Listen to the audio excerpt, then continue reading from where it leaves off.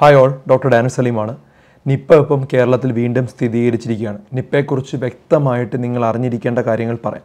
ഇത് ആദ്യമായിട്ടല്ല കേരളത്തിൽ വന്നത് നിങ്ങൾക്ക് അറിയാലോ ഏകദേശം മൂന്നാമത്തെ പ്രാവശ്യമാണ് ഇപ്പോൾ കേരളത്തിൽ റിപ്പോർട്ട് ചെയ്തിരിക്കുന്നത്. രണ്ടായിരത്തി പതിനെട്ടിലാണ് കേരളത്തിൽ ആദ്യം റിപ്പോർട്ട് ചെയ്തത്.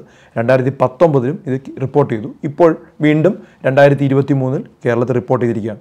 ഇന്ത്യയിൽ ആദ്യമായിട്ട് റിപ്പോർട്ട് ചെയ്യുന്നത് രണ്ടായിരത്തി ഒന്നിൽ ബംഗാളിലാണ്. അപ്പോൾ ഇതിന്റെ ഒരു പ്രശ്നം എന്ന് പറഞ്ഞാൽ ഇതിന്റെ മരണനിരക്കാണ് ഇതിന്റെ പ്രശ്നം. ഏകദേശം രോഗി അസുഖം വന്നു കഴിഞ്ഞാൽ നാൽപ്പത് മുതൽ എഴുപത്തഞ്ച് ശതമാനത്തോളം ആളുകളും മരണപ്പെടാനുള്ള സാധ്യതയുണ്ട്. ഇപ്പം നിപ്പയുടെ മരണനിരക്ക് കാരണമാണ് ഇത് വളരെ ഇമ്പോർട്ടന്റ് ആയിട്ടുള്ളൊരു അസുഖമായിട്ട് മാറുന്നത്.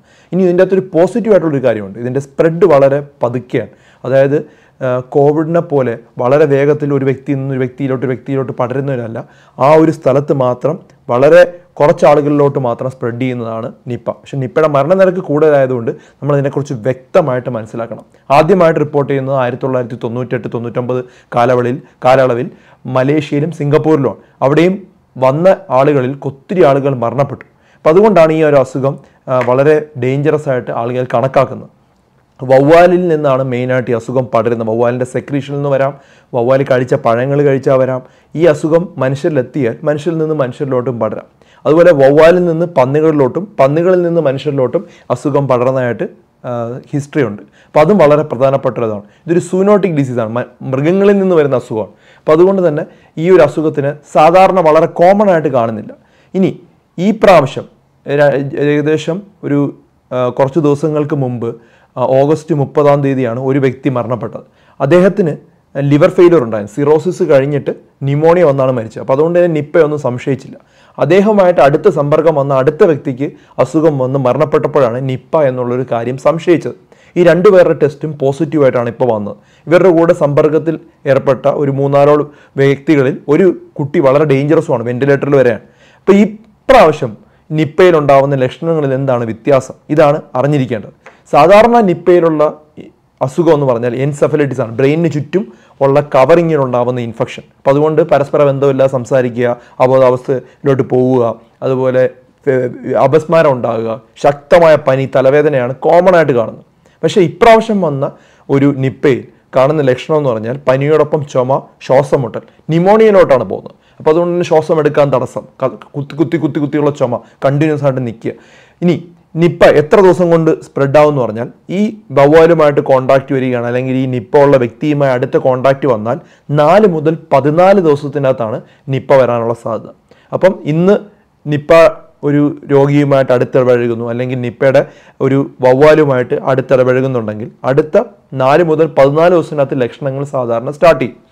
ഇതെങ്ങനെ കൺഫേം ചെയ്യാം? നമ്മുടെ മൂക്കിൽ നിന്നും തൊണ്ടയിൽ നിന്നും എടുക്കുന്ന സ്രവങ്ങളോ അല്ലെങ്കിൽ ബ്ലഡിന്റെ ടെസ്റ്റുകളോ നമ്മൾ R T P C R ചെയ്യാൻ പറ്റും. അല്ലെങ്കിൽ നമുക്ക് എലൈസ ടെസ്റ്റുകൾ ചെയ്ത് കൺഫേം ചെയ്യാനായിട്ട് പറ്റും. ഇനി ഇനി കണ്ടുപിടിച്ച് എന്ത് ചെയ്യണം? ആദ്യത്തെ കാര്യം കോണ്ടാക്ട് ട്രേസിംഗ് ആണ്. ഇവരുമായിട്ട് കോണ്ടാക്ട് വന്ന ആളുകളെ ഐസൊലേറ്റ് ചെയ്യണം. അതാണ് ഏറ്റവും പ്രധാനപ്പെട്ട കാര്യം. ഐസൊലേറ്റ് ചെയ്ത് കഴിഞ്ഞാൽ മറ്റുള്ളവരിലേക്ക് ഇത് സ്പ്രെഡ് ആവില്ല. ഇനി നമുക്ക് വരാതിരിക്കാൻ നമ്മൾ എന്തൊക്കെ ചെയ്യണം? ആദ്യമായിട്ട് വവ്വാൽ കടിച്ച ജാമ്പയ്ക്ക അതുപോലെ തന്നെ പേരയ്ക്ക മാമ്പഴം ഇത് മൂന്നുമാണ് സാധാരണ ലൗലോലിക്ക. ഇതൊക്കെയാണ് സാധാരണ ഈ വവ്വാൽ കടിക്കുന്നത്. ഇത്തരത്തിലുള്ള ഫ്രൂട്ട്സുകൾ ഈ കടിച്ചിട്ടുണ്ടെങ്കിൽ ഒരു കാരണവശാൽ അത് കഴിക്കാതിരിക്കുക. ഇനി അഥവാ കഴിക്കുന്നുണ്ടെങ്കിൽ എല്ലാ പഴങ്ങളും നല്ലവണ്ണം കഴുകിയതിന് ശേഷം മാത്രമേ നമ്മൾ ആഹാരം കഴിക്കൂ. അപ്പോൾ എങ്ങനെ കഴുകാം? നമുക്കൊരു കുറച്ച് വിനീഗർ ഒഴിച്ച് വെച്ച് വെള്ളത്തിലോട്ട് ഇതെല്ലാം മുക്കി വെച്ചതിന് ശേഷം നല്ലവണ്ണം ഒരു ഫ്ലോയിങ് വാട്ടറിൽ കഴുകിയെടുത്ത ഒരു പത്ത് മിനിറ്റ് കഴിഞ്ഞാൽ നല്ലവണ്ണം ഫ്ലോയിങ് വാട്ടർ കഴുകിയെടുത്ത മിക്ക വൈറസുകളും അവിടെ ഇല്ലാതാകുന്നതാണ്. ഇനി ഈ പഴങ്ങൾ കഴിക്കാതിരിക്കണോ എന്ന് ചോദിച്ചാൽ അല്ല നമുക്ക് കഴിക്കാം. ഈ ചെറിയ പഴങ്ങൾ നോക്കുമ്പോൾ അതിനകത്ത് പാടുകളൊന്നുമില്ല വവ്വാൽ കടിച്ചിട്ടില്ലാത്ത പാടുകളൊന്നും ഇല്ലെങ്കിൽ ഒരു പേടിക്കേണ്ട ഒരു ആവശ്യമില്ല ഇനി നമുക്ക് ഈ അസുഖം വന്നൊരു വ്യക്തിയോ അല്ലെങ്കിൽ സംശയിക്കുന്ന ഒരു വ്യക്തിയുമായിട്ട് അടുത്തിടയുമ്പോൾ ശ്രദ്ധിക്കണം. അവരുമായിട്ട് അടുത്ത് പോകുമ്പോൾ എൻ നയന്റി ഫൈവ് മാസ്ക് ധരിച്ചിരിക്കണം. അവരുടെ സാധനങ്ങൾ നമ്മൾ ഡിസ്പോസിബിൾ ആവുന്ന ഏറ്റവും നല്ലത് കളയാൻ പറ്റുന്ന കളയുക അല്ലെങ്കിൽ നല്ലോണം കഴുകി വേണം ഉപയോഗിക്കാൻ. പിന്നെ കൈയുറകൾ അവരുമായിട്ട് ഇടപഴകുമ്പോൾ ശ്രദ്ധിക്കേണ്ടതാണ്. പ്രത്യേകിച്ച് ഇവരുമായിട്ട് ഈ അസുഖം മാറുന്നത് വരെ കോണ്ടാക്റ്റ് അമിത അടുത്തുള്ള കോണ്ടാക്റ്റ് ഒഴിവാക്കണം. കാരണം അസുഖം വരാതിരിക്കുകയാണ് ഏറ്റവും ഇമ്പോർട്ടന്റ് ആയിട്ടുള്ള കാര്യം. ഇനി ഞാൻ പറഞ്ഞതുപോലെ ഈ പന്നികളിൽ നിന്നൊക്കെ വരുന്നത് കൊണ്ട് ഏതൊരു ആഹാരവും എഴുപത് ഡിഗ്രി സെൽഷ്യസിൽ ചൂടാക്കിയിട്ട് മാത്രമേ ആഹാരം കഴിക്കാവൂ അപ്പം വൈറസുകൾ നശിക്കണമെങ്കിൽ നല്ല ചൂടാക്കിയ ആഹാരങ്ങൾ നല്ലോണം വേവിച്ച ആഹാരങ്ങളിൽ വൈറസുകൾ നിലനിൽക്കാറില്ല. അപ്പം അതുകൊണ്ട് തന്നെ അതൊരു പ്രധാനപ്പെട്ട ഒരു കാര്യമാണ്. ഇനി നമ്മൾ വവ്വാലിൽ നിന്നാണ് ഈ അസുഖം വരുന്നതെന്ന് പറഞ്ഞ് വവ്വാലിനെ നശിപ്പിക്കാനോ വവ്വാലിന്റെ കൂട്ടിനടുത്ത് പോയി അതിനെ കൊല്ലുകയോ ഒന്നും ചെയ്യരുത്. കാരണം വവ്വാലുകളിൽ വേറെയും വൈറസുകളും ബാക്ടീരിയ ഉണ്ട്. അതൊക്കെ വളരെ അവിടെ തന്നെ ഇരിക്കുന്നതാണ്. നമ്മൾ അതിനെ പോയി കൊല്ലാൻ ശ്രമിക്കുക അതിനെ ഹാൻഡിൽ ചെയ്യുന്ന സമയത്ത് ആ ബാക്ടീരിയ വൈറസ് എല്ലാം കൂടെ നമ്മുടെ ശരീരത്തിലൂടെ വരാൻ സാധ്യതയുണ്ട്. അപ്പോൾ അതും ശ്രദ്ധിക്കേണ്ട ഒരു കാര്യമാണ്.